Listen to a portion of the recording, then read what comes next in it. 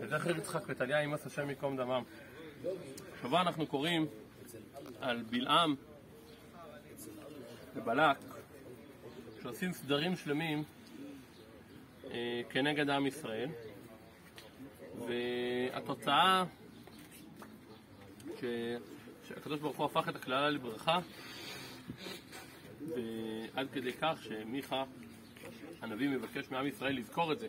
עמי זכור נא מיית בלק מלך מואב ומה ענה אותו בלעם בן באור. יש פה נושא לזכור את הדברים האלו ש... שקרה שם עם בלק ובלעם. אחד הדברים שיש שם זה בלעם אומר לבלק, בני לי בזה שבעה מזבחות ואכן לי בזה שבעה פרים ושבעה אלים. שלוש פעמים הוא בנה את המזבחות האלו וכל פעם שבעה פרים ושבעה אלים. בסך הכל 42 קורבנות, הגמרא אומרת בזכות 42 קורבנות האלו שבלק מלך מואב הקריב, אז זכה ויצא ממנו רות, שיצא ממנה, יצא ממנו עגלון מלך מואב, שיצא רות, שיצא דוד המלך. ומפה לומדים שמתוך שלא לשמה בא לשמה.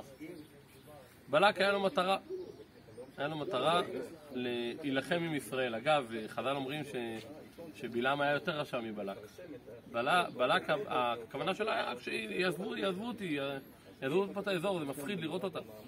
בלעם היה לו מטרה לאבד אותם מהעולם. בלעם הרגיש שיש פה איזה מתחרה אליו, שזה עם ישראל, ו... וזה מפחיד אותו, אז הוא צריך להילחם איתם, והתוצאה שהמתחרה באמת ניצח. דבר ראשון שהוא עצמו בירך, וגם בסוף הרגו אותו. אבל יש פה איזשהו 42 קורבנות שבלק הקריב, מתוך שלא לשמה בא לשמה.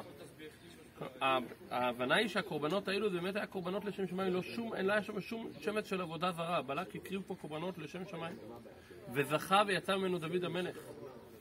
אז ה... זה, זה בא ללמד אותנו משהו בכלל בכל הנושא של קורבנות, שגם כשקורבנות לא נעשים עם מחשבה נכונה, אז מתוך שלא לשמה בא לשמה. אבל זה בא להגיד עוד יותר.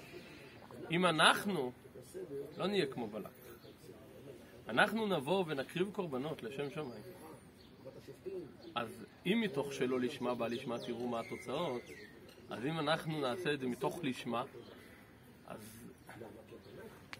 שפע, שפע רבתי, וזה קריאה אלינו. בלק, בשביל צרכים שלו, משתמש, מקריב קורבנות. אנחנו צריכים לבוא לא בשביל הצרכים שלנו, לא בשביל שיקוים בנו הברכות של בלעם, וגם לא בשביל שיקוים בנו הברכות של בחוקותיי וכתבות. אנחנו צריכים להקריב קורבנות כי הקדוש ברוך הוא ציווה אותם.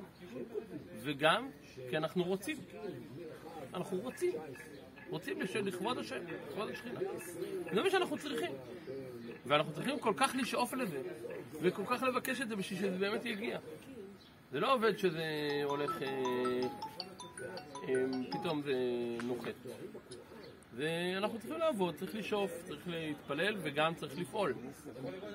והקדוש ברוך הוא יעזור שמתוך לשמה, אז יבוא הרבה הרבה לשמה. מתוך הלשמה, שזה המחשבה, הלב, מתוך זה יבוא גם הלשמה במעשה, ונזכה להקריב את כל הקורבנות, קורבנות חובתנו, פה בבית המקדש, אמן כן יהי.